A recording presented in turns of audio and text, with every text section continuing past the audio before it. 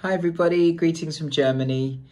Um, we made it amid this global crisis. We hope everybody's healthy and safe.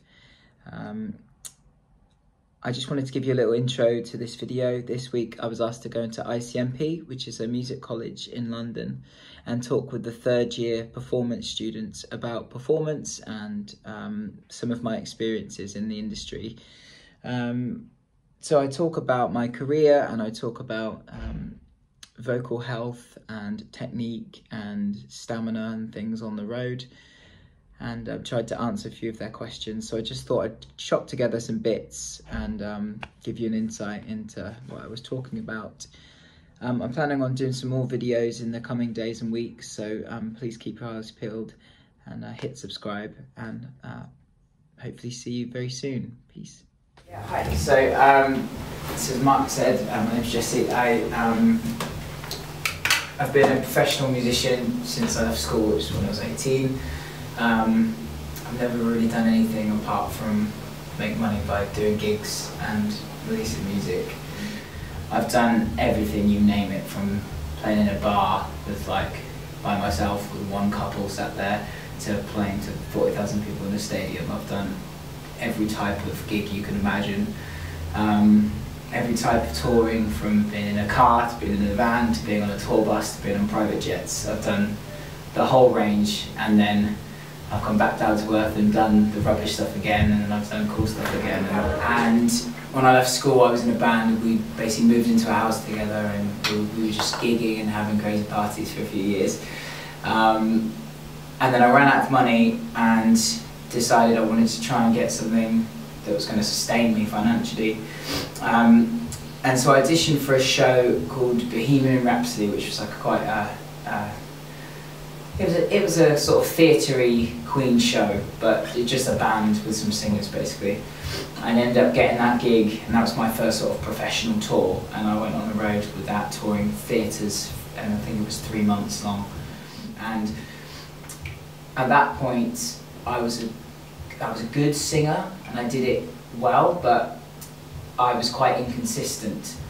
I, I hadn't um, I hadn't had any real formal training at that point, and sometimes I feel brilliant, and other times it was a struggle, you know, because Queen's difficult stuff to sing or play or whatever. Um, so then I went and had some really intense vocal training, one-to-one -one training with an amazing coach called Juliet Caton, and the the technique stuff that I learned from these vocal lessons just totally changed my whole life and career.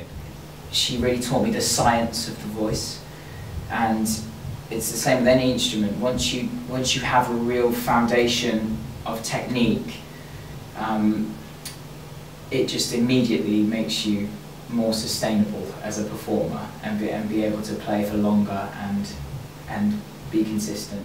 And it's, I guess it's a little different if you're a guitarist or a drummer because if you feel sick, maybe you can push yourself and get through the show. But as a singer, this is your instrument, so you know you have to. You have to still. I've had so many times in my career where I've had to go on stage, even though I feel so ropey, and I'm tired and my voice is hurting. But luckily, I've got good enough technique to to manipulate my voice to make make it sound so the audience would barely tell the difference whether I'm feeling fine or feeling rubbish. So yeah, after basically after I had all this vocal training, I then auditioned for a show called Thriller Live, which is uh, Michael Jackson show. Some of you might have seen it or seen of it. It's this one, um, and it's uh, it's a Michael Jackson show um, in the West End. I did the tour first. Um, and it's basically a band and this dude who dances like Michael Jackson and does the kind of look-alike thing, and then there's four singers. But the beauty of it was, having just had all these vocal lessons, I could really put that technique stuff into practice um, on stage because by the time you've done 10, 20, 30, 50, 100 shows, you're not thinking about the show anymore, you're not thinking about your lyrics, you're not thinking about you know, where you are on stage. All you're thinking about is how to deliver the song. And, um, and also I was able to play around my vocal technique a lot. Um, and I think it really helped in the long run, though it felt pretty difficult at the time.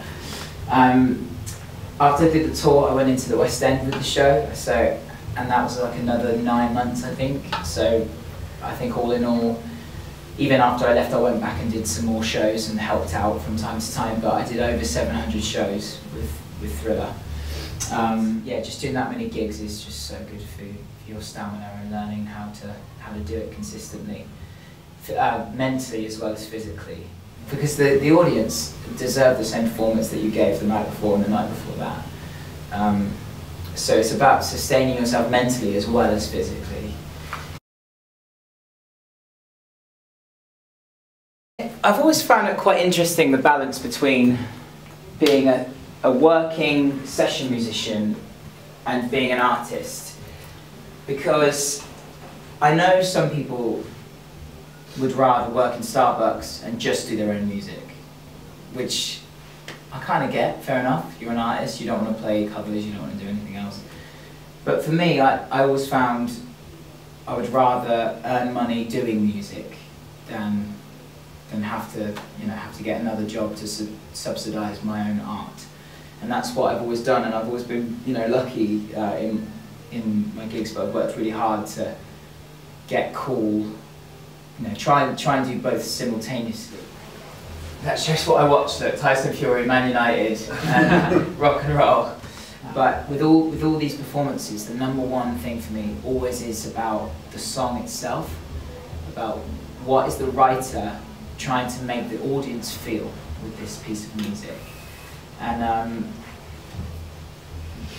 I obviously I write songs as well myself, so I think it's the job of all of us as musicians to try and work out what what we're trying to make the audience feel.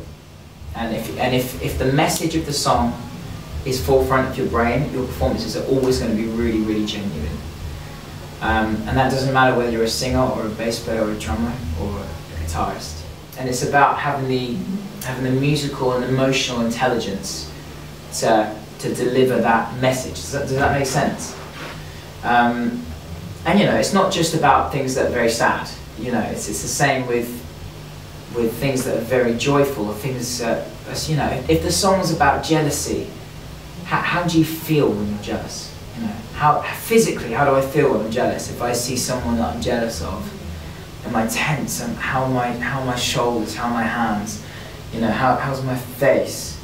So many singers just will just stand and sing a song, and I think the the the breakthrough performances, the, the great performers, are the ones that take their ego out of the equation.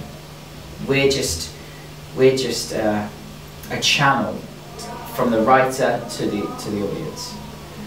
And if, if you do that as a whatever instrument you play, then that's that's when you're going to really reach people, really touch people. I think a bit of both. A bit of both. Like if I love nothing more than people rocking out at the front. It's great. But you've got to remember those people in the pit have paid the same amount of money as the people at the back. So I think you have a responsibility to play play each circumstance as it comes. You know, I always try and say if I'm in a theatre and I can see the whites of people's eyes in the front row, of course, you know, sing to them and, and bring them into what you're doing.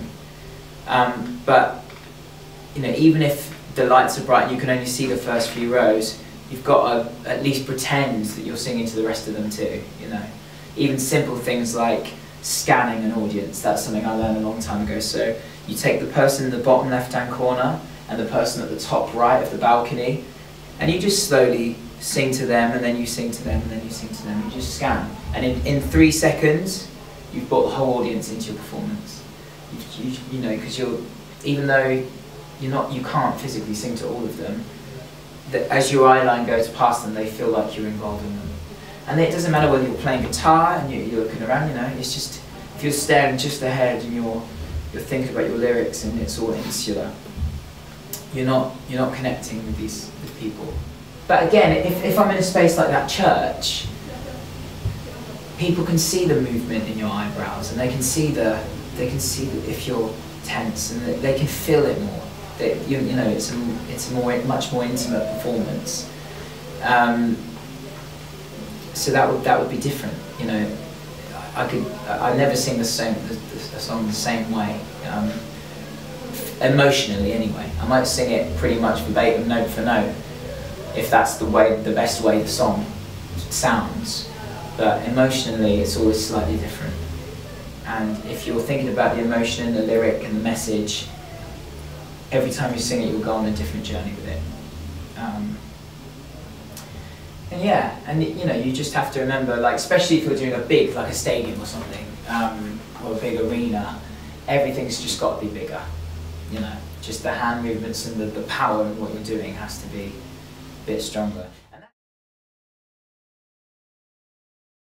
And, it sounds boring, but you know, in terms of rehearsal and learning stuff, you know, if you've routine that song a hundred times, there's no need to be nervous about the performance because you know it. You're not gonna mess it up. You're, it's in your subconscious.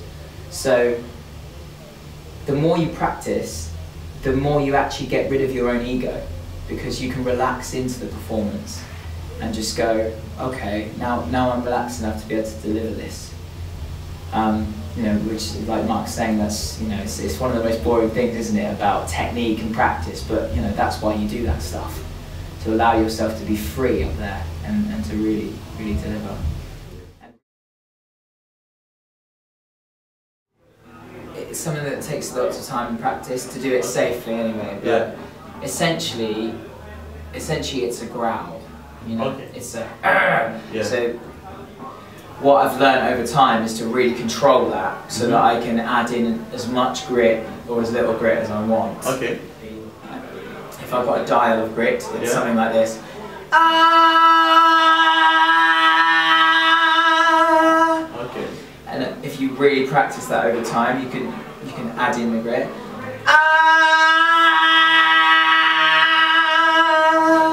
Um, It's just it's just about learning how to push and pull and yeah. Yeah, well, that's why technique is so important, you know, because you're not guessing anymore. You're working to a set of rules, Yeah. and you know that, you know, I, I know if I'm tired that I just I just pull off a bit, you know, I don't give as much distortion. But and if I'm a bit tired, I can still deliver the same performance vocally. Does that make sense? Yes. Um, um, I can't recommend enough, you guys. Um, you know, just just learning some some proper vocal technique, um, just for longevity. You know, I mean, I had my first proper lessons when I was, like I said earlier, when I was about 22, 23, Yeah. having already done a pro tour, and a lot of people think "Oh, I don't want vocal lessons because I don't want to change my sound and I don't want to do this. But for some reason, like a violin player would never go, I don't want lessons. A piano People player- look at it as if it's a bad thing to get. Yeah. They, want, Yeah. they want to say that they're self-taught and Yeah. I've done this by myself. but but honestly, I mean, it changed my whole career having vocal lessons because I suddenly knew how to look after my instrument.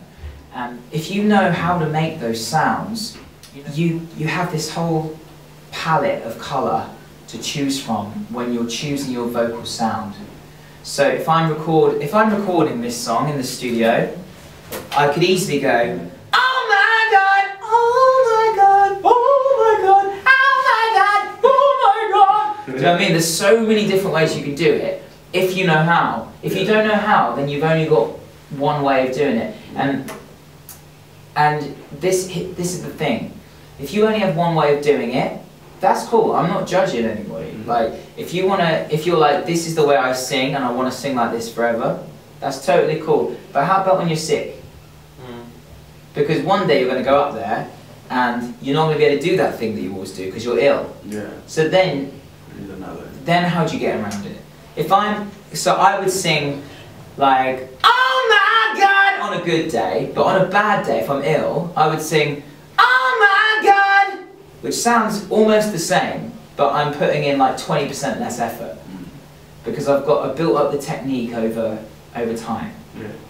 Does that does that make sense to you guys? Yeah. Thank you so much for watching, everybody. Um, please hit subscribe. And also, uh, my band Romances' new single just came out today. So please check out Romances' band um, on YouTube and Facebook and all that stuff. And uh, we have a new single called The Void out today. I'd love it if you could uh, have a listen.